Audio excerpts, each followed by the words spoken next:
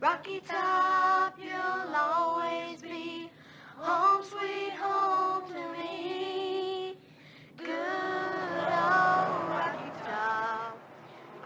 Top, Tennessee.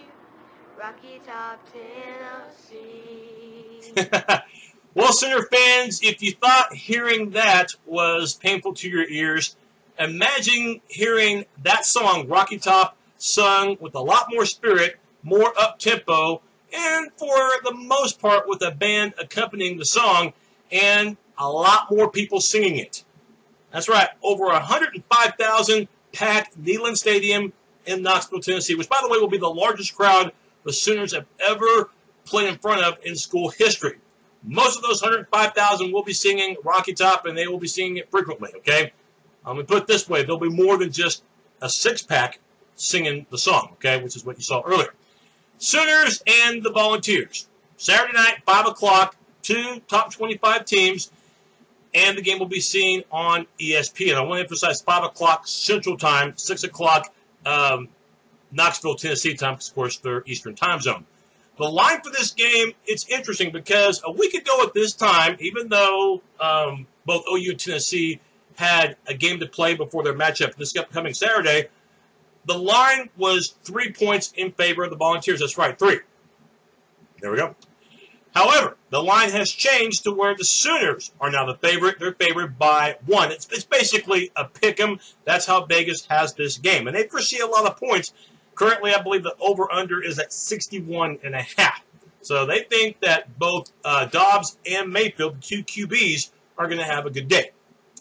Now, if you're looking at last week from, from, from both teams, of course, both played teams from the uh, Mid-American Conference, the MAC, and both teams did some good things, but both have major concerns. I think one for, for the Sooners, obviously rush offense. That's a big, big thing because after the first quarter, they didn't have any rushing net yards in the game, and then uh, for the game they ended up with about 100, which is not exactly going to make Bob Stoops smile.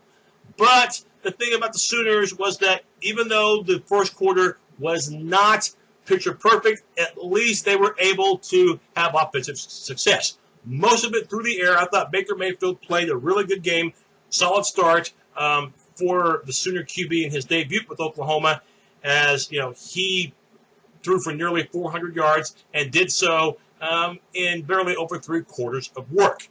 Had a fantastic game, three TDs and one on the ground. So for Mayfield, couldn't have asked for more for the ground game.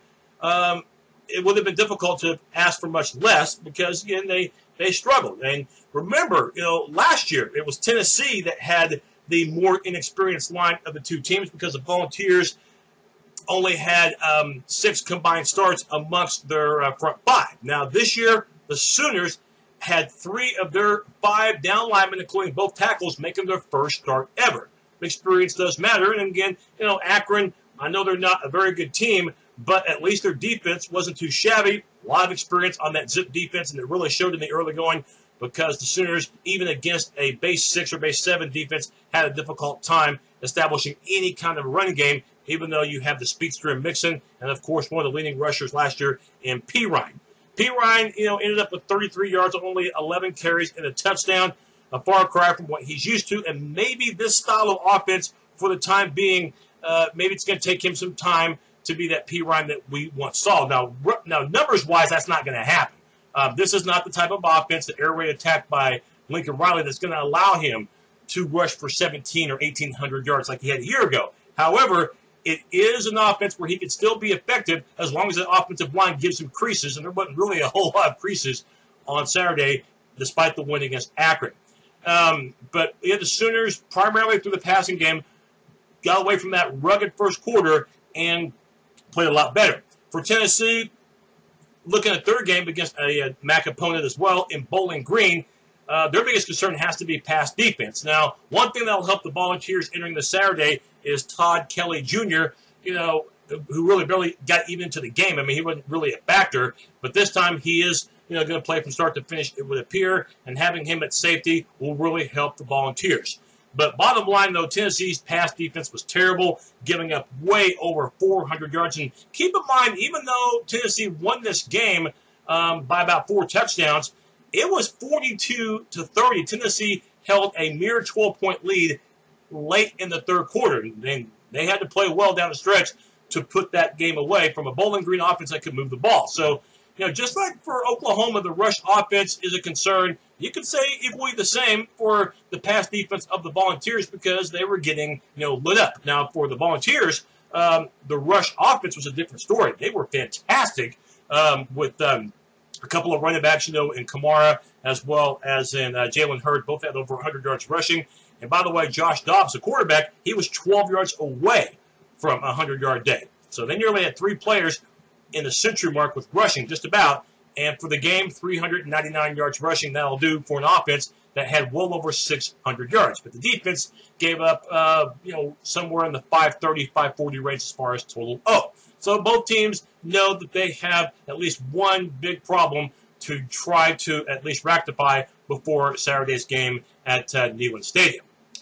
Um, if you're looking at um, other areas uh, to analyze this game, remember um, last season, even though OU beat Tennessee 34-10, that was last year. Tennessee was a younger ball club. Also, too, you know, I kind of gave it away, but Tennessee does not have Justin Worley at quarterback. He got sacked five times and threw two picks um, at or near the goal line last year in Norman, and one of them got run 100 yards back for a touchdown. Um, the Sooners have a much tougher chore defensively. Yeah, they played well against Akron. I, I thought the front seven couldn't have played any better, but that was Akron. Not a very good offense from a team that averaged about 21 points per game last year, which the Zips did. Tennessee features more challenges, not just as far as the rush offense, but as far as pass offense as well. You might say, well, we didn't see a whole lot of the pass offense for Tennessee a week ago. Well, Tennessee really didn't have to have that because they were able to run, you know, crazy against the Bowling Green team. It was an absolute display that Tennessee put on the ground. So, you know, why would you need to have, you know, Dobbs throw a whole heck of a lot? Again, OU's defense played well last week, but the secondary, you know, as far as the safeties goes, they were not really tested as Akron primarily ran the ball and they just didn't have the offensive weapons to compete with Oklahoma. So the Sooners, you could say the safety kind of had uh, kind of had a break on Saturday. They weren't tested, but that will be much much different when you know the secondary players are going to face a challenge. You know, Zach Sanchez, you know, he made a fantastic play on one play on terrific single covers down the sideline, breaking up a pass.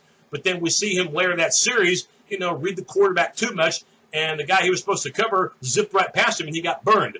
So that was against Akron. So Sanchez, yeah, he's Mr. Opportunistic with six picks last year, but at times we've seen him blow coverages as well. So it's not just the safeties you have to worry about for Oklahoma in this game, and this will be one of the best offenses that they'll face all season long. Safeties, corners, they better be ready because Tennessee, you know, will feature the likes of some incredible receivers. I mean, guys that can absolutely, you know, burn you like Josh Malone, talk about Mark Pearson, also Ethan Wolf, and uh, Jauan Jennings, a guy that Tennessee is really high upon. Don't be fooled because, you know, uh, Dobbs, the quarterback, he can throw the ball, and he's got a lot of weapons and an offensive line with a year more experience able to handle the challenge. Was the thing about the Sooners last year. They were able to, to pressure Justin Worley, but remember, Worley was not that mobile type quarterback that you see from Dobbs. So Dobbs is more apt to try to get out of trouble when the pocket collapses. Uh, so for the Sooner defense, one of the big keys of this game, you know, you've got to get that outside pressure going like you did a year ago and force mistakes. You cannot just lay back and hope Tennessee makes a mistake. You have to force the action. So this is where Eric Striker can really, really make an impact to start this 2015. And Dominique Alexander, who I thought was everywhere on the field in that first half, you know, throughout the whole game last week against Akron, he has an opportunity to make Tennessee make mistakes. That's going to be the big, big thing. Just don't play play conservative. Okay, don't hold anything back because this is one of those games that momentum-wise can take you a long way toward the rest of the season. So, talk about the secondary. Getting back to them real quick for the Sooners. Talk about the safeties. You know, Hatari Byrd, you know, Steven Parker. They're really, really going to be under the microscope. Okay, as well as uh, PJ Mbanasor. Those guys got to be ready.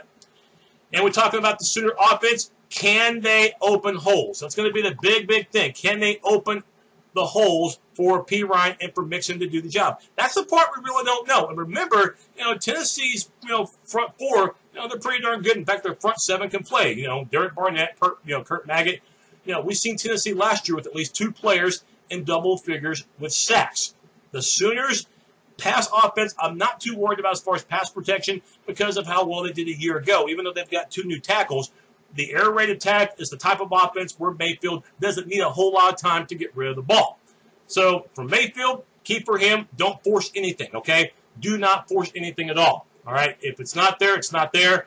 But the big thing for Mayfield is to play a smart game, and you're playing in front of a very loud environment. It's going to be well over 100,000 at Neyland Stadium. It is going to be a, an electric atmosphere Saturday night. So Mayfield, and company. Make sure they get their calls right. Make sure the crowd is not as big a part of this game as it could be, okay? And that's where that solid start must come through because last week against Akron, you know, they didn't have a good start, but thank goodness it was just Akron, and thank goodness it was, you know, thank goodness it was in Norman. You, know, you get up to a bad start in this one, as I mentioned in the post game against Akron. Uh, you get up to a bad start in this one, you're going to be playing catch up the entire way. You may not be able to come back because that crowd is going to be, to pardon A and M, it's going to be like a 12th man for the Volunteers. So you got to battle the environment. And for Mayfield, you know, play it smart. Don't do anything risky at all. And the Sooners offense should have a good game. Now, my prediction for this ball game, as as we've talked about uh, the ground attack for Oklahoma, we've talked about Tennessee in terms of what they can do offensively. Um, my prediction for this game, look, I think OU's going to get a lot of points. Okay, I think Mayfield will have a good game. The ground game will do a little bit better this time. I just don't know if it's going to be enough. My concern is for that secondary of the Sooners against what will be a difficult offense for the Sooners to try to stop. And again, the home field advantage is going to mean more than what people might think as far as this game goes. Neyland Stadium in Knoxville is one of those true special environments in college football. But for three, three and a half hours for me personally, I'm going to hate it because it is going to be the enemy. As much as I want to pick Oklahoma, this is one of those games before the season started when I made my predictions. They were going to lose three games. This is going to be one of them, although it will be close. Tennessee right now looks like they have the more balanced offensive attack and the home field advantage. That will obviously play a role in this game. So I'm going to go 35 31 Tennessee to win this game by four points. And may I be wrong, please. Okay, may my prediction be wrong. If you're mad at me, if you're a Sooner fan because I picked Tennessee, hey, it's just my opinion.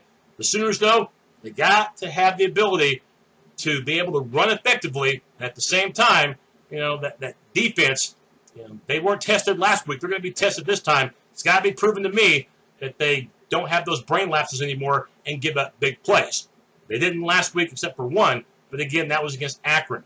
Tennessee is more balanced, more athletic, and offensively more dangerous. High scoring game, but I've got Tennessee winning it in a close one. My post game show will be probably uh, Sunday morning. And of course, don't forget my picks segments, my prediction segments. Uh, we will start that on Thursday, where I'll pick a series of college football games against the spread. So long.